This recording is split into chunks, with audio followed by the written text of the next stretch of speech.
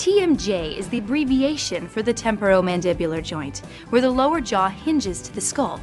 Problems with this joint are called temporomandibular joint disorders, or just TMDs.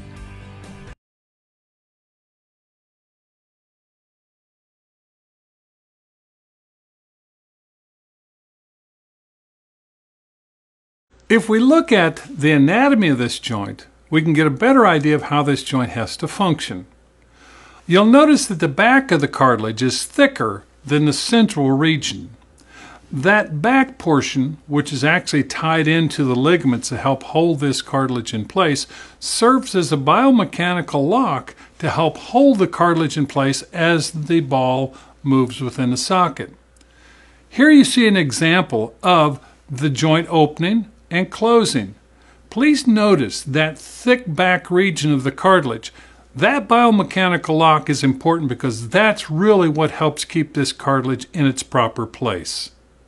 In a normal healthy joint, the ball is always pushing forward against the socket itself. I'm now going to show you a joint that's dislocated. You'll see that the cartilage stays between the ball and the socket. Then as the ball starts to move back up in the socket, all of a sudden it goes too far back and it pushes the cartilage out of place. That's when this joint has become dislocated.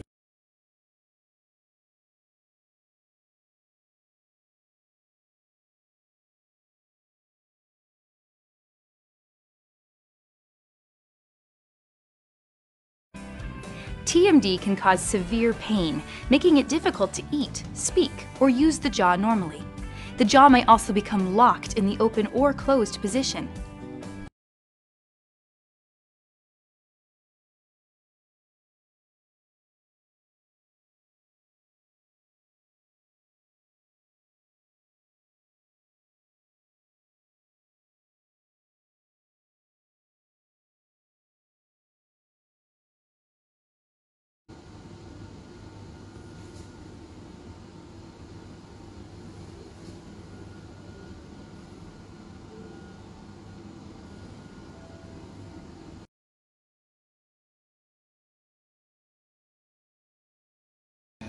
Slowly open your mouth.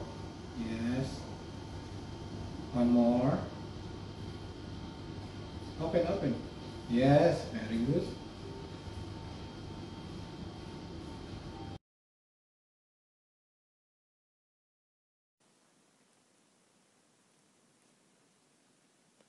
Once the area to be needled has been located, the needle should be angled at an oblique chordate angle towards the temporalis fossa.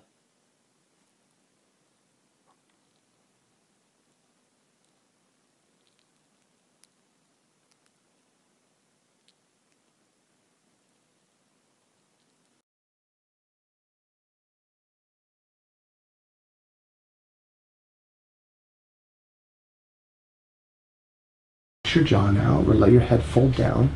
We're gonna get on your external pterygoid here. Let your head Oh. fall all. Yeah, you feel it already. So we're just gonna go one. Oh. Yep. Two and three. Ah. And relax. Are you okay? Breathe in deep. Breathe in. And out. But what I do have are a very particular set of skills. Skills I've acquired over a very long career. Skills that make me a nightmare.